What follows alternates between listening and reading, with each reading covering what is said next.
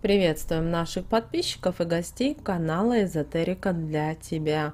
Друзья, мы вас всех приветствуем в изобилии и достатке.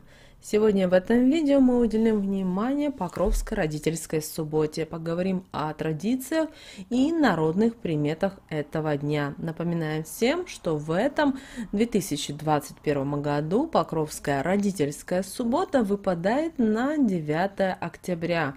И в этот день все мы православные идем в храм и молимся за души своих умерших родных. Рассказываем в этом видео, что обязательно нужно сделать в этот день и что наоборот делать нельзя. Поэтому обязательно досмотрите это видео до конца. Много полезной и важной информации для вас. А прямо сейчас подпишитесь на канал Эзотерика для тебя, ставьте лайк этому видео и обязательно поделитесь этим видео с теми, кого вы любите, кого вы цените, кому вы желаете мира, любви, гармонии. Пусть они также знают об этой информации. Итак, Покровская родительская суббота – это день, когда все православные верующие особым образом вспоминают близких, которые ушли из жизни. И в 2021 году родительскую Покровскую субботу мы с вами будем отмечать 9 октября. Вы знаете, постоянной даты у Покровской родительской субботы в церковном календаре нет. Она предшествует празднику Покрова Пресвятой Богородицы, который православные отмечают 14 октября.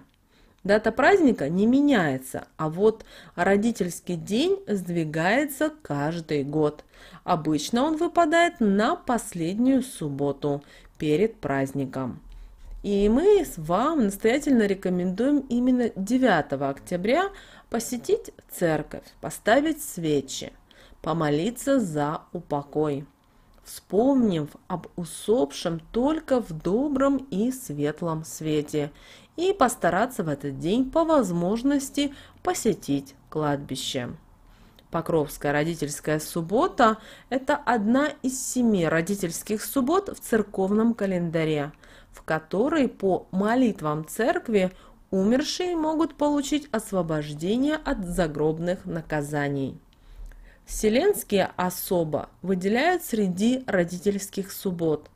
В эти дни совершаются особые богослужения, так называемые вселенские панихиды, во время которых молитвенно поминают вообще всех почивших.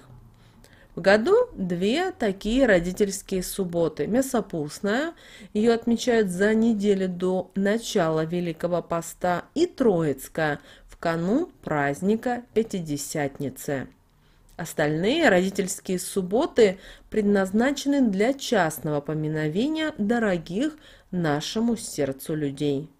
Поэтому по традиции христиане в первую очередь молитвенно поминают своих умерших родителей, поэтому и называют субботы родительскими. Покровскую родительскую субботу изначально установили в память о воинах, погибших, погибших при взятии Казани в 1552 году. Такое решение принял Иван Грозный в середине XVI века. Правда, этот день церковь признала только через аж 40 лет. Указ о ежегодном поминовении павших при взятии Казани на покров Пресвятой Богородицы в 1592 году официально издал патриарх Иов. Со временем Покровскую родительскую субботу стали поминать не только воинов, но уже и всех усопших. В Покровскую, как и в любую другую родительскую субботу, в церквях проводят поминальные литургии – панихиды для поддержания памяти умерших и освобождения от грехов, совершенных ими когда-то. Панихиду проводят и в пятницу вечером, накануне родительской субботы. После храма, по традиции, люди идут на кладбище, приводят в порядок могилы и молятся за упокой души умерших.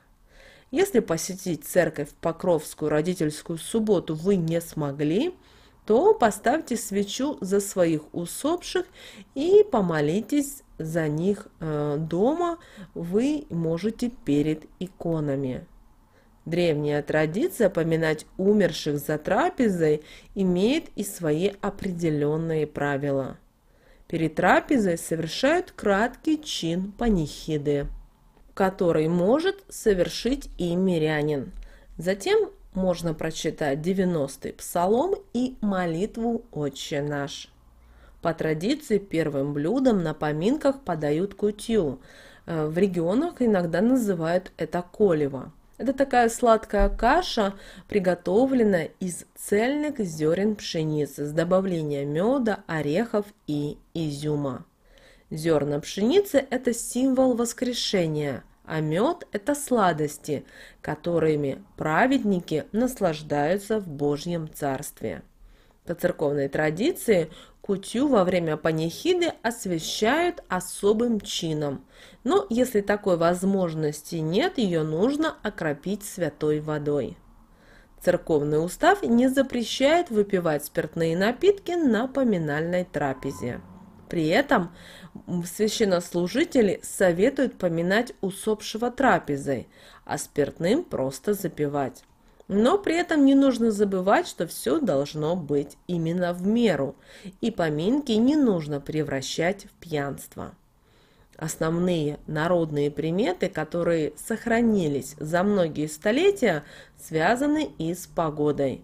В народе считали, что в Покровскую родительскую субботу впервые за год встречаются и осень, и зима, а выпавший в этот день снег является божественным знаком, покровом. По народным приметам первый снег 9 октября означает, что зима начнется ровно через 40 дней, а сухая погода в этот день значит зима наступит не скоро. Если северный ветер э, по народным приметам сулит холодную зиму, а южный – теплую. По народным приметам зима будет морозная, если пчелы начали плотно затеплять леток.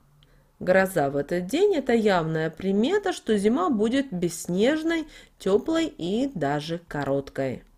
По народным приметам зима будет холодной, если на елях и соснах осталось еще много шишек – Обратите внимание 9 октября, как плывут облака. Если облака плывут с юга на север, народная примета указывает на приближающееся ненастье, а если с севера на юг, то к хорошей погоде.